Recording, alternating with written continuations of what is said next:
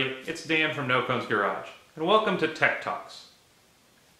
This video series is going to provide additional information that may help you to understand what's going on with some of the build projects. In this particular video, we're going to provide some definitions of various suspension terms. I want to talk about the many terms that define the geometry a suspension has.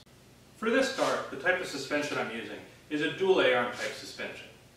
The terms discussed apply to all different suspension types, multi-link, strut, solid axle.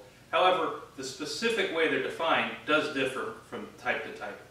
In order to more clearly communicate the effects some of the suspension geometry changes have on a dual A-arm type suspension, I've created the No Cones Garage Tiny Suspension Understanding Enhancer. Let's pretend together that the wheel is not made out of cottage cheese container. Alright, what I've built is a very simple A-arm suspension that enables me to show various geometric features and adjust them in a very small scale. And it functions like a real A-arm suspension. So the first term I want to define is the steering axis. The steering axis is simply the line that goes through the center of the upper ball joint and the lower ball joint, about which the wheel rotates. Now that we understand how the steering axis is defined, we're going to talk about the effects it has on wheel motion. We're going to evaluate the steering axis from two different views. We're going to view it from the front and from the side. We'll start from the front. The angle the steering axis makes relative to a vertical line through the contact patch, the center of the contact patch of the tire, is called the kingpin inclination. When designing suspension, we want to try to keep kingpin inclination to the smallest value possible. That's because kingpin inclination results in positive camber when the wheel is turned to both left and right, meaning both the inside and outside wheel will experience positive camber rather than the desired negative camber. As you can see here, the wheel is pretty much vertical. But as we turn it, you can see a gap generate at the bottom in both directions.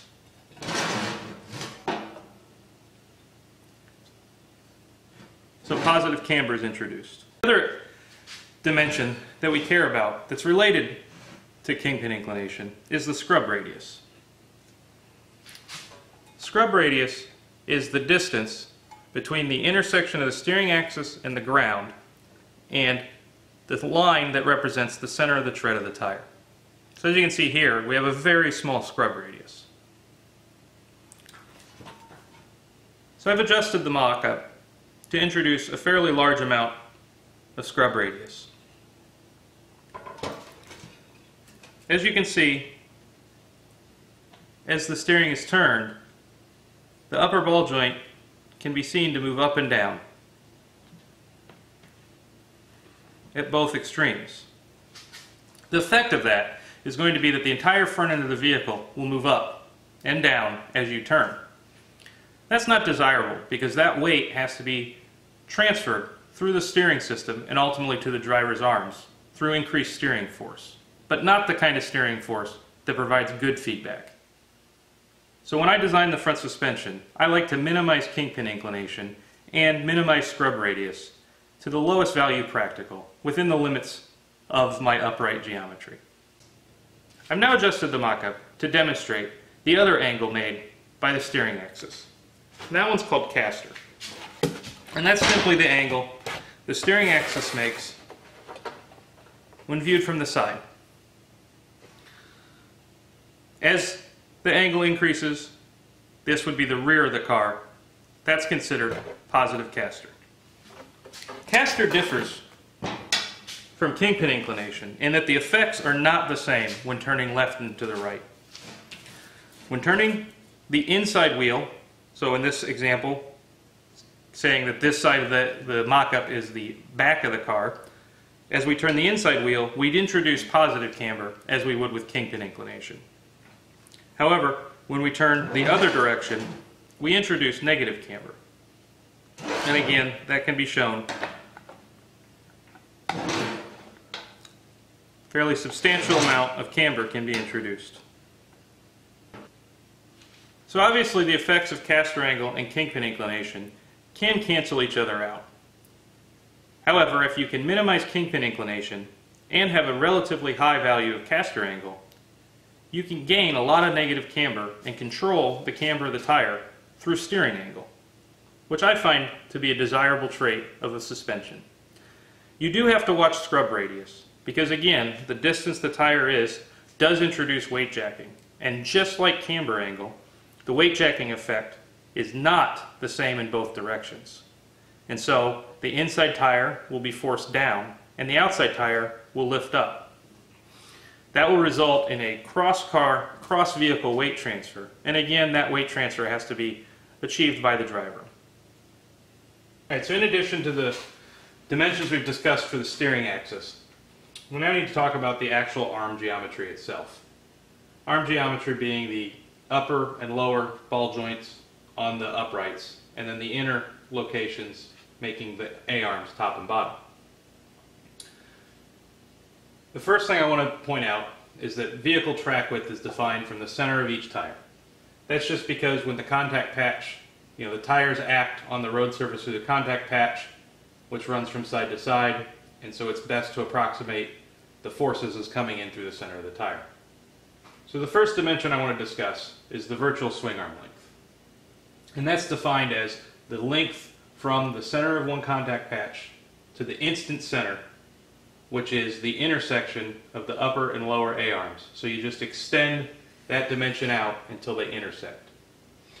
This is an important dimension because these pair of A-arms, as they move through their travel up and down, behave in the same way as a swing arm suspension of that length, meaning that the curve that this tire is going to go on is simply a solid line of that length. Um, there will be some changes because the ratio of these links, the instant center will move in or out very slightly. However, the camber curve of the tire is pretty much defined by the VSAL of the static ride height. The instant center is also where the actual force from the contact patch will act through. And so the roll center is defined as the intersection of the right and left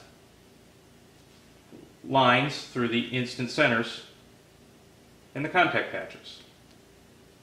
So obviously this is shown with the chassis not in a corner. If the chassis were in a corner, your instant centers will move around. This red line for each tire will move around, and the roll center could therefore move in or out, but it will always behave, or it will always lie at the intersection of those two lines. What the roll center is, is that is the point about which the actual chassis will physically rotate. The last thing I want to talk about is the effect different virtual swing arm links have on the vehicle. As you can see on this chart, that as the ratio of the virtual swing arm length to track width gets larger, the amount of camber we will gain during bump and roll get less. When we roll the chassis, we actually start to get positive camber because the chassis leans and the tire leans with it. And so the best we can do in roll is have our camber curve reduce the amount. So here you can see, for example, we have our 2 degree of camber line and as the track width gets, the, the VSAL gets really long, we start to approach 2 degrees, which means our camber curve is not reducing the amount of positive camber gained in roll. And you can see that the amount of negative camber we're gaining in bump reduces as well. So what does that mean? So that means in the front, I like to run longer VSALs because I have caster that I can use to introduce camber. In the rear, I don't have caster. So I'll run shorter VSALs, usually from 0.75 to 1.25. So far, we've only discussed the considerations of lateral forces coming through the A-arms and acting on the chassis. A similar geometric effect occurs during longitudinal acceleration. We can develop force vectors for the upper and lower A-arms by drawing lines through the forward and rear inboard pivots of those arms. If the A-arms are parallel to the ground, those two lines will never intersect. In that situation, your instant center is at an infinite length. The force from the tire will be reacted at the ground surface. That will act on the center of gravity of the car. Depending on that height, a relatively large moment can be developed, which will result in suspension squat. By manipulating the height of the inboard pivots of the upper and lower A-arms, geometry can be developed that results in an intersection of these two force vectors. The moment acting on the suspension during acceleration then becomes the difference in height between the center of gravity and the intersection of the two A-arms. If the height of the intersection and the center of gravity are equal, no downward force will be generated through weight transfer during acceleration. This is referred to as 100% anti-squat geometry.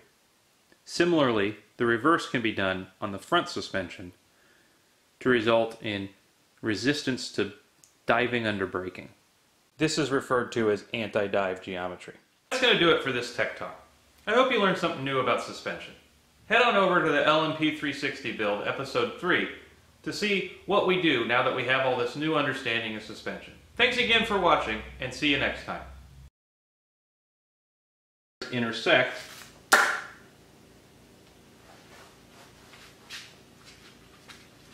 stupid magnet.